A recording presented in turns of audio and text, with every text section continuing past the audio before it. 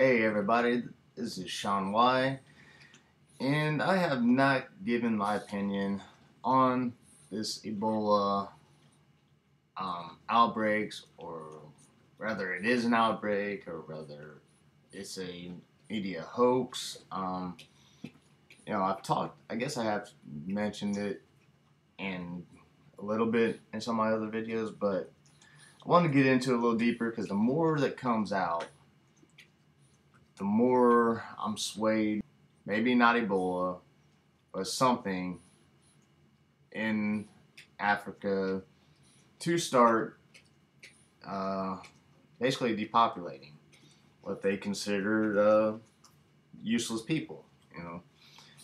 But the more I look into this propaganda, and the more you kind of go back and look at all the propaganda that's been thrown on us through Hollywood, through the movies.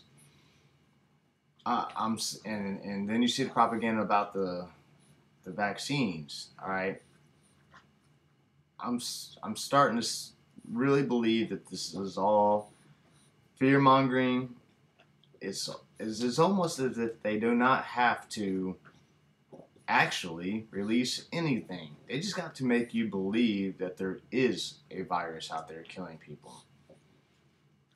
So let's get into this a little bit and just see what I mean. Um, I came across this video, and some other people have done videos on this. You know, I know. So, but this one is uh says man thought dead from Ebola comes back to life. So this is a whole zombie thing. And you know, it's no coincidence that uh, we got The Walking Dead about to start back up next week. You know, we got we got so many shows on right now. It's it's real time propaganda, fear mongering.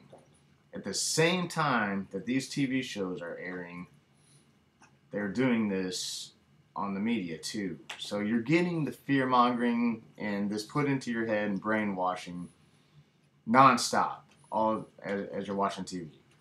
Okay, so you got The Walking Dead, you got The Strain, you got The Last Ship. I mean, just it goes on and on with how you're being just brainwashed into believing that this uh, basically the world's going to end due to this viruses. Okay, but anyway, into the video here. Um, they're, they're busy spraying down the area where the person is. They're going to wrap it in plastic and take away. But I was talking to someone in the community, and they had someone sick here yesterday. They didn't think it was Ebola. They thought it was something else, and they called for help, and no one came. They called again, and no one came. Okay, first of all, if this person is thought to be dead from Ebola, what what's with the mass amount of people sitting around? Okay, yeah, this guy this guy's holding people back. He's all protected, but he's holding back people that are in plain clothes, and I I don't know. I don't know if this guy's came in contact with this thing here yet, but if he has, why is he you know he may be okay, but if he if he's contaminated, he's going to be contaminating all these other people too. So, you know, this is all obviously staged propaganda. Okay, but let's look at it. And not until he died, a 37 year old man, not until he died did they come. And then they called, and within one hour. look at this patch job. so, so this guy's I mean, this is this is ridiculous. The burial team is here. Uh, this is the place right now where if you die of Ebola, they're very quick for you. If you're living and you need help, there's really nowhere to go. He's not dead. Look, he's he's not dead. They were wrapping him up to take him away, but he's alive. He's moving his arm. They almost oh, took him wow. away Look at this. And they're just over there like, yay! To the crematorium. Look. Look at this. And they They're looking right at the camera. I don't know where they could take him. They're There's no dancing and smiling. to treat him. Now the first responders, the ambulance is here. They're trying to get them to stop to take him and uh, to somewhere where he can get some care. Yeah, but it's not clear yet. Are they here for him or they're driving by? driving. They're blocked in. What do you mean? Are they driving by? They're not driving anywhere. They're going to take him. The problem that they have here is that there's a lot more. Videotaping this. No concern whatsoever that this guy has Ebola because he doesn't. This is all a staged act. This is propaganda city right here. This is this is insanity. All right, I, I'm kind of going through this video like I, you know, I don't script anything out. I lay some things out about what I talk about, so bear with me here. Okay, so there's that. Then you got this one here, where this uh, news freelancer was supposedly uh, got Ebola. Okay, let's just check this Freelance out. journalist Ashoka worked on this piece for Vice News just days ago. NBC News hired him on out. Tuesday to work Check this out. You think it's a coincidence that they got him doing this pose here? You know, he's, he's getting the whole one eye symbol. You know, obvious. You know, Lady mm-hmm. Gaga here, just like that. It's it's no different. You know, it, it's, it's this is so evil. What's going on right now? I, I really can't even put it in the words. So you know this this has been in the cards literally, been in the cards. this this is the Illuminati game. I believe it's like from 1995, I believe, and most people know about these by now because of you know over here, got the towers being hit and blown up exactly where where they supposedly hit by planes, and I say supposedly because um, definitely do not believe the planes were used. But that's a whole different video. We got the Pentagon right here blown up. You know, but right here, number one, epidemic, quarantines. Okay, this is 1995. We got flesh eating bacteria. Kind of reminds me of that uh, drug that supposedly people are taking over, uh, I forget where it was, maybe UK or something like that. And it's literally eating their flesh. But it's so addicting, they say that people are still doing it anyway. Uh, is, is that a real thing? I don't know. I mean, could it be as big as propaganda and hoax as this? It could be. Could it be that the CIA put this stuff out on the streets to kind of depopulate the homeless people? Uh, yeah, it could be that too. So, but either way, it seems that everything that's going on has literally been in these cards. From the oil spills, you know, like over here, yeah, oil spill. Yeah, this World War Three. Uh, we're on the brink of that right now, if not already in it. All right, and let's go into uh, this. The scary part is this is uh, they're they're got trial uh, for vaccines right now. They've never had a Ebola vaccine ever. Now all of a sudden they got one in trials. This is what should scare you. Okay? This is why I don't believe that they have to have an Ebola outbreak for real. Because they just got to make you think there is one. So when they push this vaccine out, I believe this is what's going to do the damage. This is what's going to really cause the epidemic. That's my opinion. You know, I, I've you see all the propaganda in the movies, like uh, this movie Quarantine. You know, uh, it goes from 28 Days Later, I Am Legend, World War Z, Resident Evil. I mean, cabin fever. It goes on and on, and a lot of these have to do with, uh, like especially this quarantine too. You know, had something to do with somebody got infected, was on a plane, brought it over, and then they quarantined off the, the terminal. You know, a lot of this has to do with patient zero getting infected, getting on a plane or something, spreading it, and and the next thing you know, it's it's spreading throughout the world.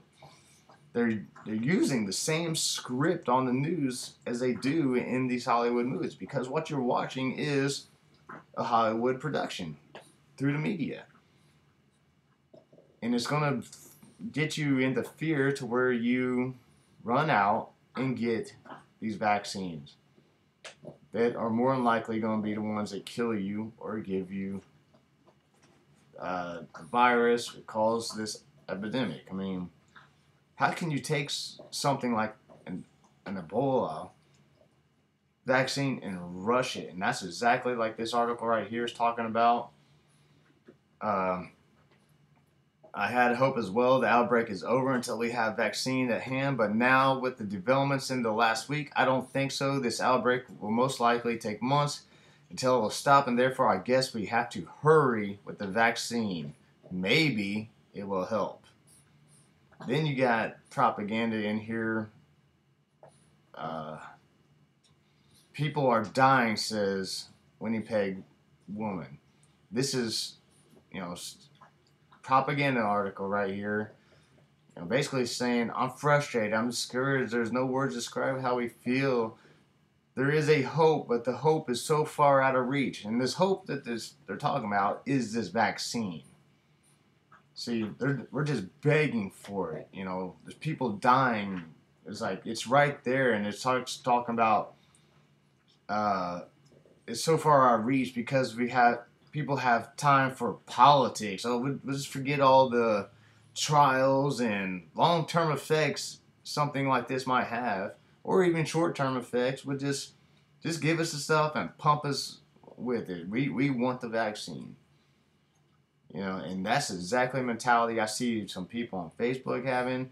They're gonna be the first ones to rush out and go get shot up with these vaccines. They get every one of them and then they then they wonder why they got health issues or other kids got health issues and it's it's really disgusting yeah in my opinion this is this is the game this is fearmonger uh, don't even need a real real outbreak, just convince people it's real, and then they you you run to the vaccines. So you can you can bet your dollar that I will not be running to get no Ebola vaccine. Does that mean that they will not drop some kind of bioweapon on us? I, I think they will. I really do and it will it come in the form of these vaccines? Like I said, it's it's hard to tell what these psychopaths will do. And I also want to get into the, you know, what does what does some of these other movies have in common? It's almost like this is setting up for the mentality not only to get ready for zombie type outbreaks, where you know, like uh, this Ebola and maybe like uh, rabies type maybe mixture where it, you know people literally do go crazy, start tearing people up, you know, lose control of their minds. Um, type of outbreak, but also preparing people for uh, the mark of the beast and and the world that is going to come. Because I do believe that the mark of the beast is not only like a chip type thing, I do believe it's a chip or something that will actually alter the human DNA. You know, that's where we're getting into the transhumanism and gene altering, and you know, the Bible says, as in the days of Noah. Well, everything was corrupted, and when that word corrupted doesn't mean every it was all about sin. The DNA of the people um, the, the, plants, the animals, everything was literally corrupted and altered from what God had made us. So the, the devil and these fallen angels were lit, these literally ch- altering the creation of God. And that's why had that's why every that's why the world had to be destroyed because it was like a virus, literally, like we're talking about in the movies, spread through the whole world that had altered the DNA. And I believe that's what is coming again. And that's why you will not be forgiven. That's why God said you're cut off if you take this mark of the beast. Because you are willingly going to take this and it's going to alter your DNA and to a point where I literally think it's going to turn you into something non-human. So it gets deep, very spiritual, but I mean, if you look at Resident Evil, World War Z, uh, The Strain, you get infected, you turn into a, vampire type thing. I mean, it's it's all over. Propaganda is all over in these movies, telling you, I believe, what's what is to come in this world. And you know that if you do not accept Jesus Christ as your Savior, that that's the world that's in store for you. And you know, I say that because I I truly believe that you know God's not going to put His people through that through His wrath, and that is part of the wrath. That is part of this. The seven year tribulation is all God's wrath. That is all supernatural stuff going on. I do videos on that. If you want to check out my rapture series, I'll put that in there because there's a lot of disinformation out there about the pre-tribulation rapture and and that's a whole different deal but we're not going to have to go through that we're not going to be here to take the mark of the beast okay and that's a whole that's a spiritual thing that is supernatural. And it gets yeah that gets deep. So i'm going to stop there but i do believe it is all connected every bit of it. So i'm going to leave it at that. Sorry i ramble a little bit. Um, i said i don't really lay this stuff out. I just kind of talk with my heart and just kind of let whatever i'm going to say kind of come out so thanks everybody for uh, watching. If you got anything you uh, want to add, anything I should talk about, any questions, any comments, uh, feel free to leave them. Uh, thank you for watching, and God bless.